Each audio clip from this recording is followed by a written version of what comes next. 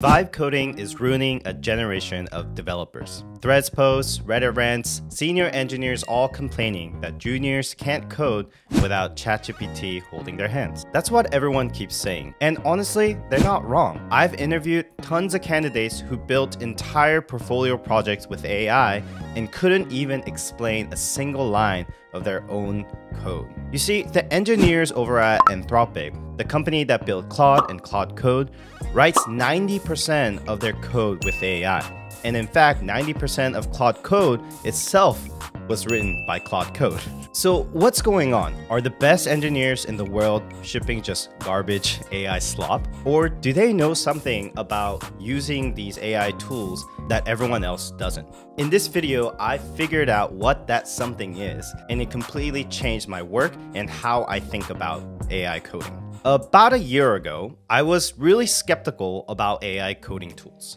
You know, I'm a staff software engineer at Meta, and I've been doing this job for a really long time. And every time I try Cursor or ChatGPT for coding, it felt off. I felt like I was babysitting a junior who kept making the same mistakes, constantly losing context, forgetting what I told it five minutes ago, and I ended up just using it for boilerplate, maybe generating some tests, but for anything that was like real or serious coding, I would end up just writing it myself. But then recently, I watched a talk from Boris Cherny, the creator of Claude Code at Anthropic. And after that video, everything just clicked. The way their engineers use AI is fundamentally different from how everyone else is using it. They don't treat it like a code generator, they treat it like a collaborator. They argue with it, they question it, they use it to think, and not just type some random prompts. That's when I realized I've been using these AI tools kind of completely wrong.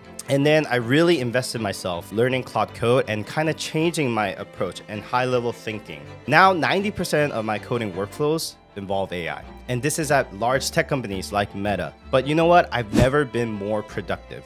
I'm more productive because AI is making me into a better engineer. So let me show you what I mean. For most people, a typical AI workflow may look something like this. You start building something, you get stuck. So you prompt, you know, ChatGPT or something for a solution. It spits out some bunch of code, you copy it, it works, and you move on. The thing is, you didn't learn anything here, but hey, the feature has shipped, so why does it matter? But then something breaks, and you're staring at this code that you don't understand, the AI is not helping you for whatever reason, and you just don't even know where to start to ask follow-up questions. Basically, you're staring at a problem, and then you get frustrated and you give up, and you're just stuck, and you don't know what to do. And I'm sure many of you have experienced this. And I actually call this exact flow tutorial hell 2.0. The old tutorial hell was watch videos or read some articles, follow along, feel pretty smart about it, and then try to build it on your own and realize that you've actually learned and retained nothing. And look, I, I get it. When the deadline is tomorrow, and of course you're gonna just copy that code. You know, I've done it, everyone has done it. But if that's your entire strategy, you're not going to become a better engineer. And here's the uncomfortable truth. These copy paste engineers are about to get very cheap and very dumb very quickly. there is a saying about AI making you stupid and it's 100% true if you're not using it correctly. These tools are just gonna get better and better over time and people who are not mindful over this, they're gonna just eventually lose control of their thinking. Just outsource it to AI. So in the future, the question isn't whether AI will change engineering, it's whether you'll be the one directing the AI or the one that will be replaced by it. So what are the alternatives? What separates engineers who are thriving with AI from the ones who are actually getting worse by using it day in and day out? I think the difference is what the end goal is. I think the main difference here is those that are thriving from AI are trying to get something that's totally different from the ones who are just using it and moving on. Most people use AI to get the code, but in my opinion, the best engineers are using AI to get deeper understanding of the code. You know, think about it. If you got like a very senior engineer sitting right next to you, let's say you had John Carmack right next to you, he has, you know, insane knowledge and wisdom, you wouldn't just sit there and ask him, hey, write me this random feature and then walk away. of course not, right? You would pepper him with questions, you would make that opportunity worth it, you would watch how he thinks, try to understand him, you would try to soak up as much knowledge from him. And in my opinion, that's how you should use AI to actually learn. The code itself shouldn't always be the goal. The understanding should be the goal. The code is just a reflection and an artifact of the understanding that you gain. So I'm going to show you these kind of like four principles or practices that I incorporate to my workflows and it, it really changed my kind of stance on AI coding. But the fourth tip that I'm gonna share, no one really talks about, so make sure you stick around to understand. All right, so let's talk about how I actually do AI coding. I use Claude Code mainly, and when I first open Claude Code, I don't immediately start building things. I usually have this conversation session. I think out loud with the AI. So here's an example of what it could look like. So I won't say, build me a messaging system for this service. I'll, I'll say something like, I'm trying to add a messaging system. Before we code anything, what are your opinions here? What kind of architecture should we use? What would you recommend for a system that needs to handle like 10 million daily transactions? And here, Claude will come back with multiple options. It'll come back with trade-offs from each ask and also follow up with clarifying questions about the infrastructure and the kind of overall code base. Then I'll have further conversations with it, like wouldn't WebSockets be overkill here, for example? What are some of the considerations should we have to scale this? That's a conversation. It's not just like a simple prompt. You know, one of Anthropic's engineers described their internal process like this. Instead of diving in, I'll say search around, figure out how we do it, report back with two to three options. Don't start the work yet. And this conversation before a single line of code is where the real learning is happening. You're not just getting a solution, you're mapping up the problem space in your head and with the AI. And that's just the beginning. So that's part one of the process having conversation and building understanding first. The second is reading everything. When the AI generates the code, you need to read every single line. Do not just skim it, right? And you need to really question it. Why are they using a callback here instead of like use memo? What does this regex actually do? Walk me through it. Why are you catching these specific errors? Sometimes the AI isn't perfect. It may get some things right, it may get some things wrong. Both of those instances, it's a good opportunity for you to review and learn from the mistakes that the AI is making or the gaps in your knowledge that you have. So it's always worth questioning everything until you have a true understanding of the AI code that is being written. Now, this sounds incredibly slow. I know you vibe coders who believe that you shouldn't look at any of the code is probably yelling at me right now. But actually, in my opinion, this is much faster and it's not even close. Because you know what's really slow? Debugging some code that you have no understanding in three weeks later at like 2 a.m. when it breaks in production. And then you gotta figure out some way to re architecture the whole thing and rebuild the whole damn thing. That's just the waste of time. And that will always happen if you don't understand what is being pushed to prod.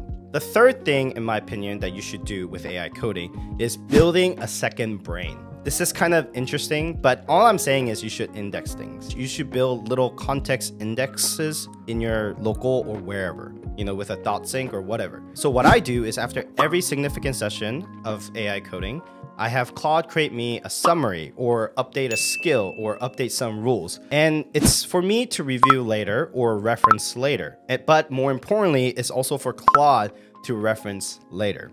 It's that missing secret sauce, in my opinion, that AI coding struggles with, which is having domain understanding of your code and your projects and and just like how things should actually work.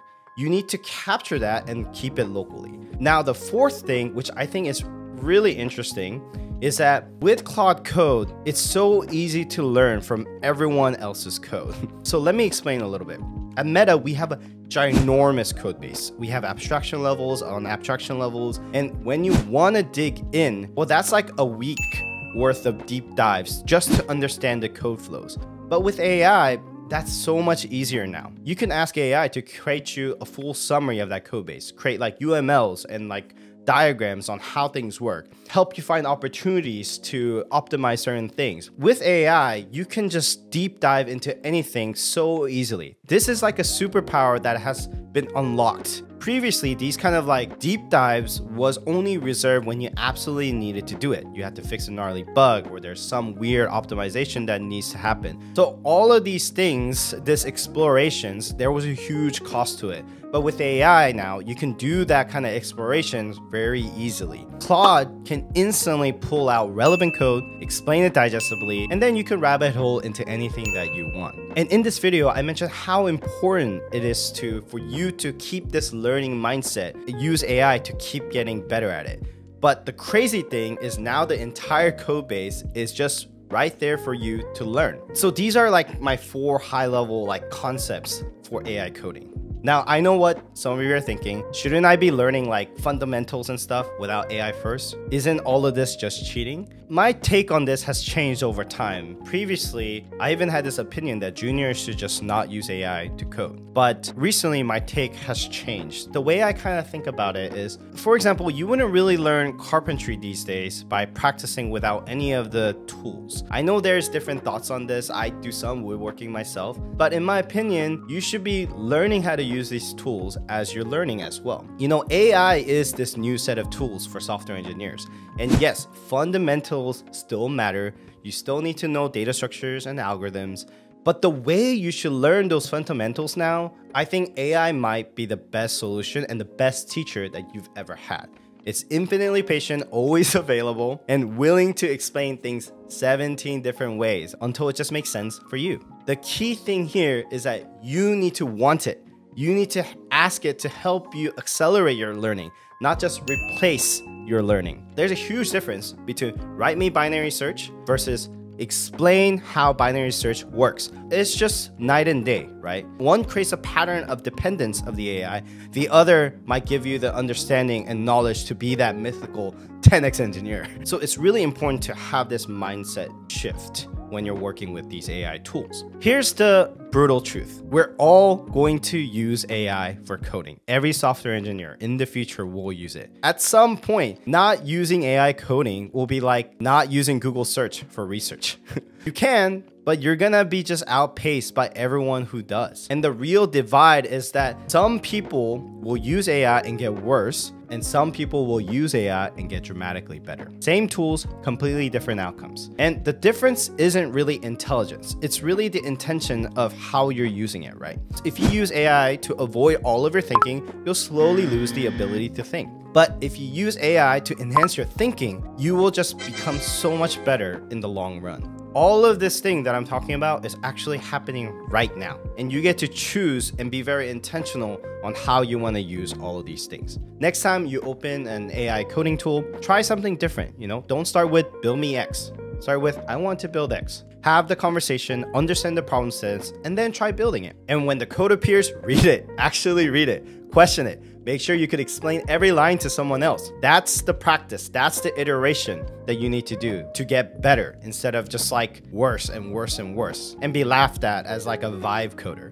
Remember, the question from the beginning is how do the best engineers in the world use AI without becoming worse at coding? Now you know. Now, I know this video was pretty philosophical. It's mainly like a mindset and understanding, but I'm actually creating a full series on my actual Claude Code workflow that will work at large tech companies like Meta, Google, and Amazon, and etc. And this series is something that I wish existed when I was first getting started out and trying to invest time into learning these things. Just actual workflows that took me from skeptic to shipping like 90% of my code with AI. You know, I'm gonna go nitty gritties, like even the basic setup stuff, all the way to like my advanced workflows. At the end of it, you'll learn how to orchestrate multiple agents in parallel. I don't like to use this analogy, but a lot of people say you're kind of going to be like an EM that like manages all these agents. But I like to think of myself as like like a StarCraft player that's managing multiple like commands and then like checking in on it and context switching. That's kind of how my workflow actually looks like. I have multiple instances of Claude Code and I'm operating multiple things all at the same time. One thing I will say on the side is like you kind of miss this state of flow with AI because you're kind of like prompting and waiting. But if you have these multiple contexts, I've been kind of able to recreate that by managing these like multiple instances. It's a different, it's like playing StarCraft. It really is. So don't forget to subscribe so you don't miss out. And if you want to go even deeper, I started a new newsletter called Push to Prod. And all of the workflows and my writing, I'm going to be putting into there. It's going to be practical content, like I mentioned, very similar to this channel. And the goal of that newsletter is for you to become an AI native engineer and building your own software engineering career. So, links in the description. Please subscribe. Let me know what you think. And if you like this video, check out my software engineering playlist. I'll put it right here. And you know, the, before I go, the game has changed. It's changing constantly. You need to learn this stuff. Like if you're a software engineer, you need to know how to use these tools. Now you should have a good understanding of how you should be thinking about this stuff. Until I see you guys on the next video, I hope you guys enjoyed.